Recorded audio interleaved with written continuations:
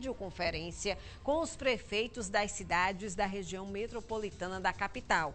Isso para falar sobre novas medidas de combate ao, à Covid-19. Eu até falei que aconteceu essa reuni reunião agora há pouco.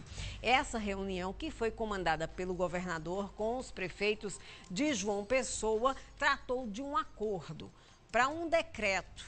Um decreto aí talvez único entre essas cidades que compõem a Grande João Pessoa. E esse decreto deve ser assinado até a próxima segunda-feira, com medidas mais restritivas. Amanhã nós vamos entrevistar o governador sobre esse assunto aqui no Tambaú da Gente. Então não perde, é uma forma da gente trazer já essas novidades para quem está em casa, tá certo?